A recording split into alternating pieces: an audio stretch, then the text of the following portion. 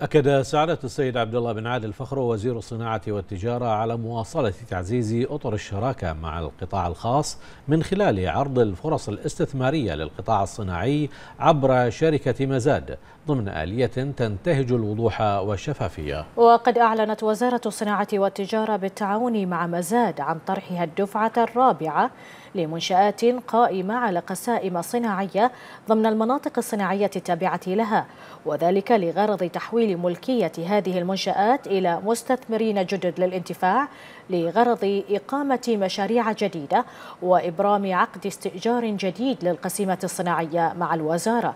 ويشمل المزاد ثلاث منشآت صناعية في كل من منطقة المعامير الصناعية ومنطقة المزرع الصناعية ومنطقة ميناء سلمان الصناعية. ودعت الوزارة الراغبين في المشاركة بالمزاد التقدم بمقترح المشروع المسمع إقامته والحصول على الموافقة المبدئية عبر الموقع الإلكتروني للوزارة.